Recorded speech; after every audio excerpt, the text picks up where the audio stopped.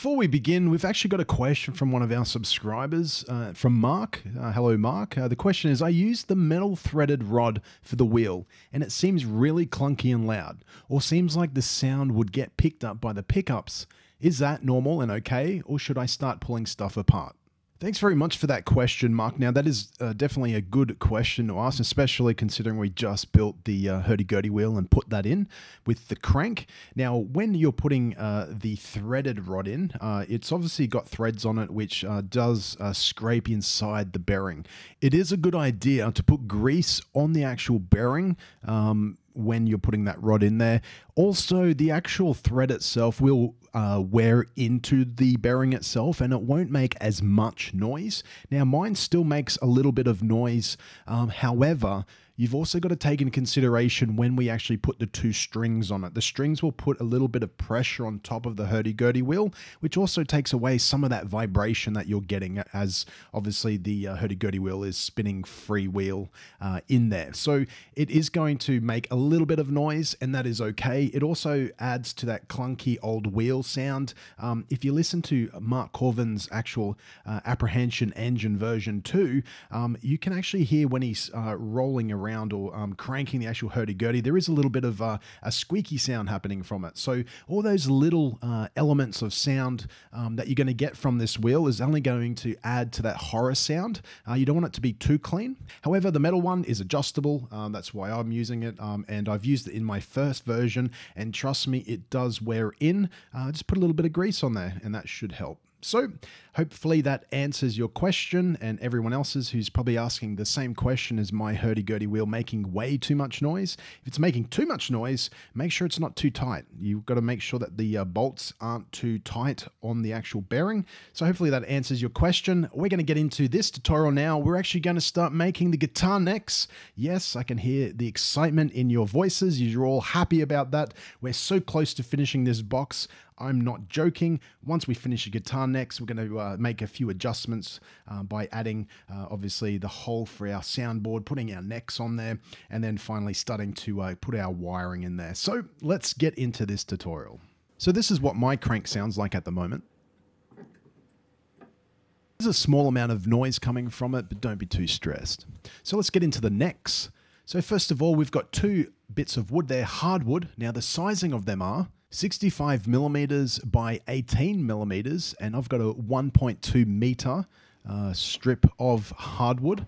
The other one is, uh, you can't see all of it, but it's actually 40 millimeters by 18 millimeters. And uh, it's a little bit uh, narrower, uh, but it's still 1.2 meters in length. Now, I'm using hardwood for this build on the necks. You want it to be hardwood, uh, otherwise, it will bend. Another option is uh, you can half the thickness of it and have hardwood at the top and obviously pine at the bottom. But this is how I'm doing my neck. Um, you may want to build it differently. So let's go to the first measurement.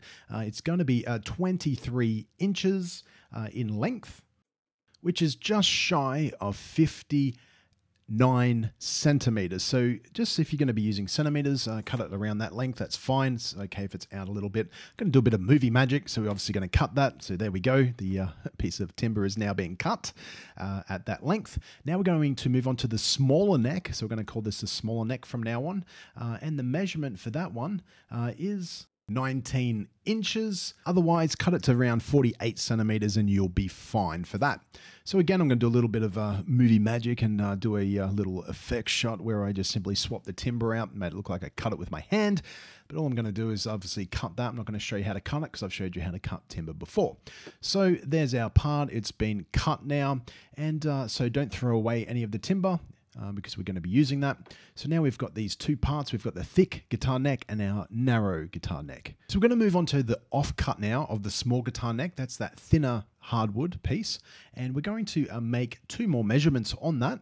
And the first one is going to be at 15 inches uh, in length. And the other one, we're going to set it at 8 inches. Now, the reason we're doing that is these are going to be the supports that sit under the neck and assist in making sure that the necks don't twist or bow when we're using them.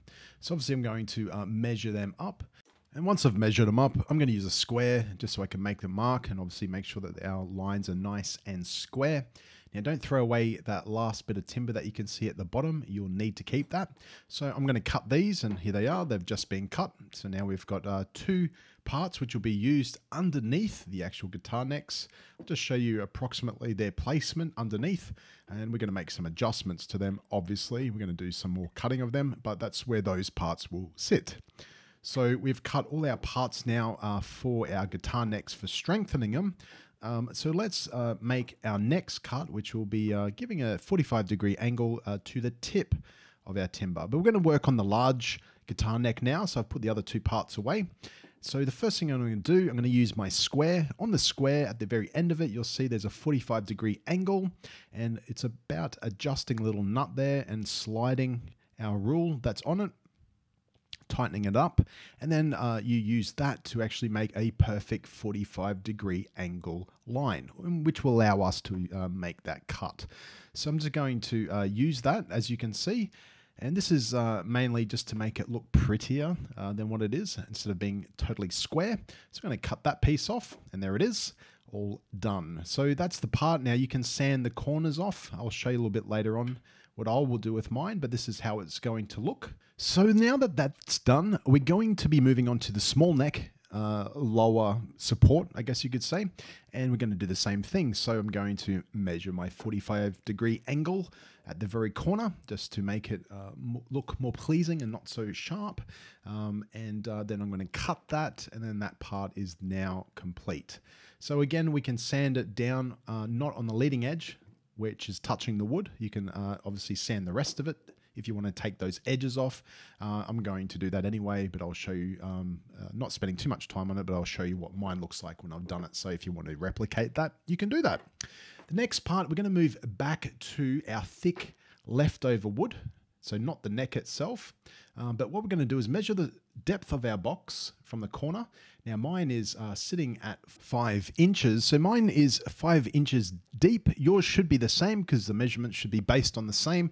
So we're going to uh, cut a small piece uh, from our thin scrap timber, which will be used for the narrow neck.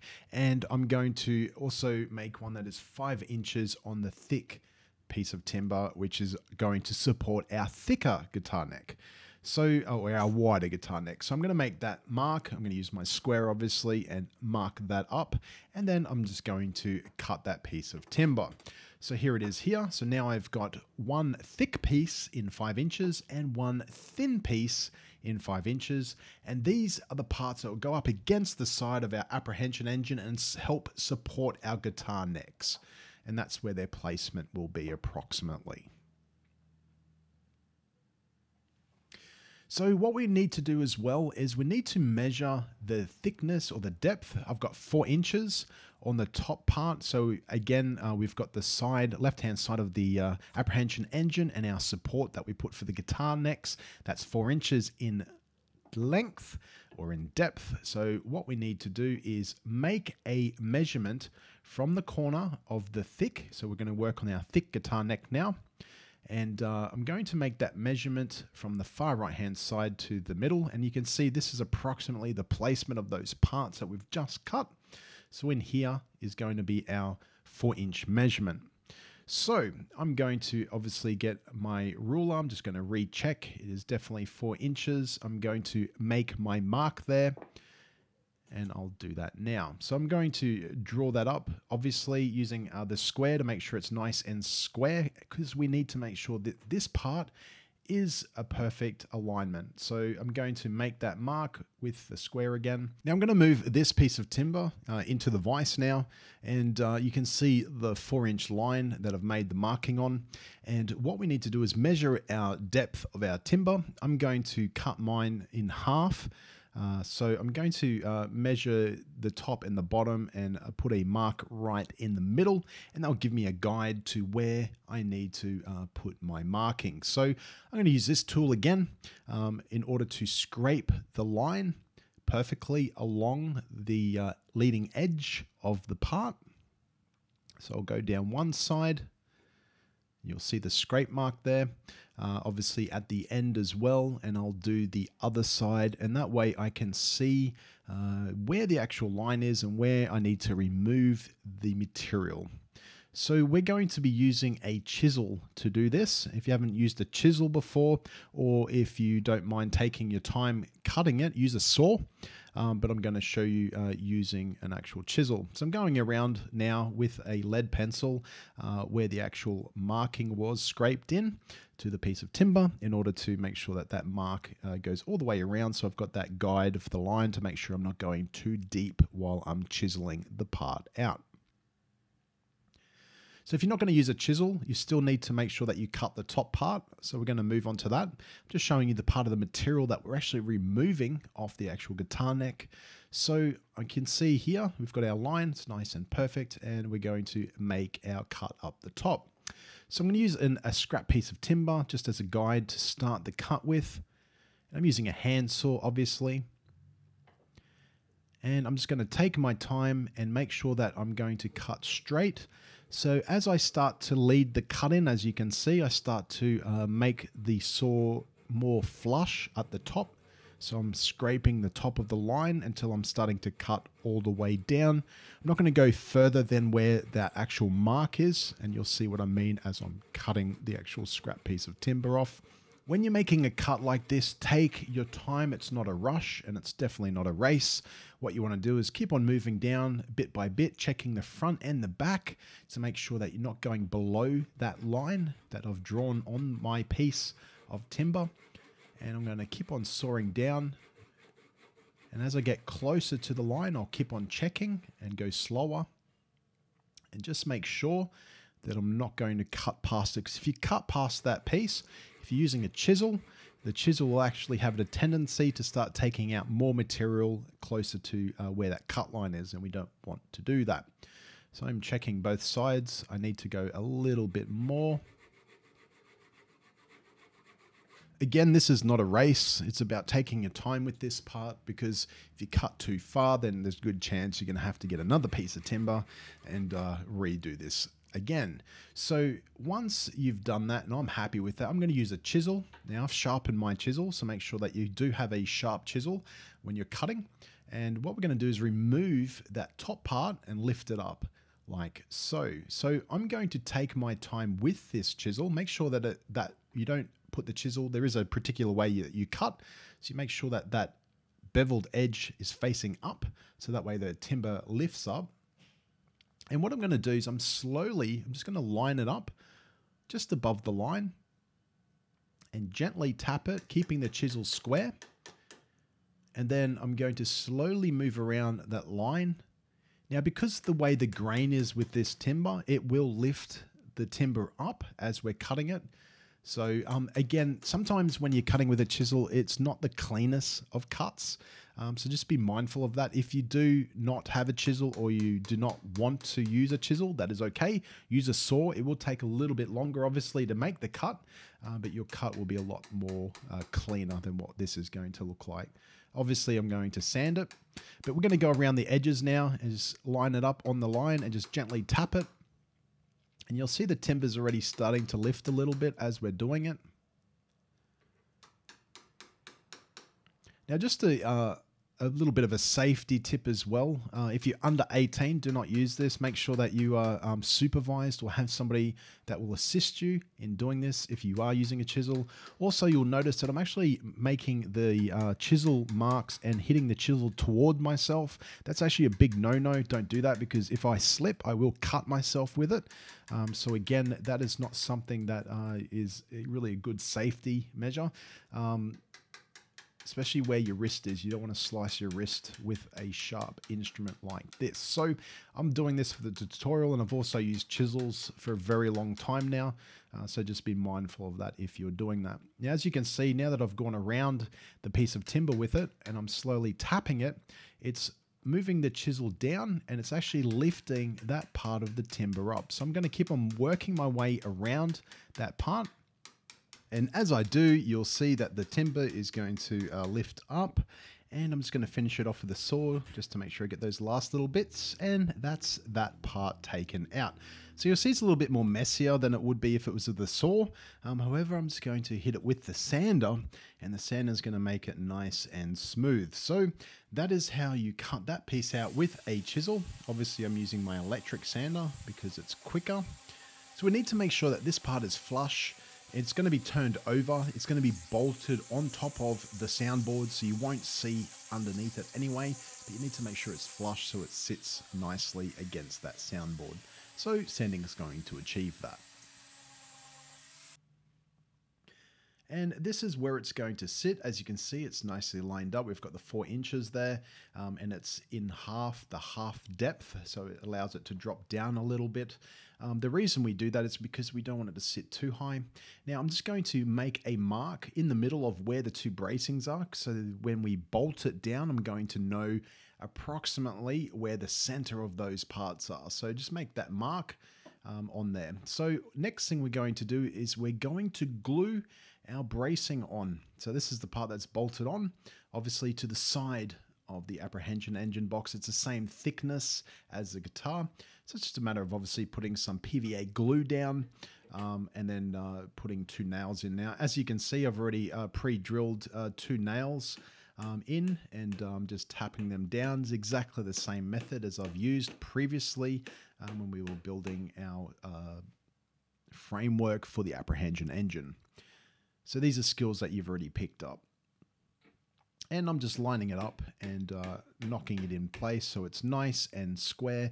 And obviously I'm going to make sure that that part is uh, flush with that joint. And it is, as you can see. And I'm just removing any excess glue. Next part is we're going to put our bracing in. And again, this helps to stop the guitar neck from twisting or lifting up on the apprehension engine. And all I'm going to do is I'm going to make a mark. So I'm going to measure the thickness of the guitar neck. I'm going to work out where the center is. And then there's a little secret I'm going to show you, which is really not a secret at all. Um, but what it is, is we're going to drill straight through from this side, allowing us to figure out where the actual center is on the hole so we can put our nails in.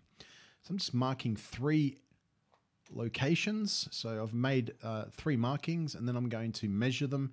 Make sure that the measurements are, are the same. So I'm looking at around uh, uh, 10 centimeters. I think that's in centimeters on that side. Um, but it's about just making sure that if you're wanting to make it so that it's nice and clean, that you've got an even spacing in between where your nails are going to be. So I'm just rechecking again. Um, I can see I've put my uh, markings a few millimeters uh, incorrectly, so I'm just going to drill off to the side of that. But as you can see, um, by drilling on one side, it's going to put the hole through the other side, so make sure that it's nice and flush when you're doing it. Um, if you've got a drill press, use that, because obviously it will make it nice and square all the way through. Uh, but I'm showing you, you can do this with a hand drill. So I'm just rechecking the measurements again. Again, I've uh, out a few millimeters, which is why I'm not drilling directly on where the hole is, just off to the side of it. Um, but obviously, if you measure it correctly, you won't need to do that. If I flip it over, you will see uh, that we've got the three holes on the other side so that we can actually put our nails in, um, and there they are there. Perfect. So all we need to do now is put our PVA glue on the leading edge that touches the material. So we're going to get our support. I'm going to run a bead of glue all the way down the middle of it. And don't forget to do the uh, other edge as well, which uh, touches up against that wooden block. I'm uh, doing it off camera um, and that pushes in and you can see the glue coming out on the side. So I've definitely done that. And then once you've got it there, make sure you use a ruler just to make uh, the measurements, make sure that there definitely is nice and centered on both sides. So the measurements should be the same. Once you've done that, if it's not, make some minor adjustments. I've had to make a few minor adjustments there, as you can see. And then it's just a matter of turning the material over and then we're going to uh, start to put those nails in. Now those nails are the same ones that I've been using for building the apprehension engine, so they're the same ones that you should already have. Uh, they're the same ones that we use for building the framing. So there they are there. I'm just going to flip it over now. And because I've already pre-drilled, again, the drill that I used is not thicker than the nails. We don't want them to be uh, something that you can push easily all the way in. You still need to hit them through. But the uh, pre-drilling the nails allows the nails to nicely go straight into the material. It also helps them from stopping to bend. So I've put one in and now I'm using the other one just to make the adjustment. Check once more just to make sure it's all nicely lined up. And I'm happy with that. So uh, by putting the second nail in, it's going to lock it into place. And then I can uh, hammer the rest of the nails in. So again, we're going to have three nails on the larger or the wider guitar neck um, because we've got a longer uh, piece of material underneath it. And then once we've done that, obviously, we're going to go around the edges of it with a rag and clean up all the uh, leftover PVA glue that's come out. So I'm using an old t-shirt. And once we've done that, we've now finished our neck for the larger part. Um, so that's got our, um, and when I say finish it, we've uh, finished putting our supports on there. And that's it there. I'm just going to check it. I'll see where it sits. It's going to be the one for our hurdy-gurdy wheel. So that one's ready to go. So in the next tutorial, we are going to put together, using the same methods, the smaller neck. So I'm going to go through that. It's going to be a quicker tutorial than this one. This one obviously is run a little bit over time than all the other ones. Um, but we will finish that in the next tutorial. The next tutorial I'm hoping to release shortly. Um, I don't want to leave too much of a space in between these two, so that way you can at least get both of your necks done, ready to go for the apprehension engine. So if you want to become a Film Master subby, it's pretty simple. You can subscribe to my channel. You can like me on Facebook and or on Twitter. Until next time, don't just film it, master it.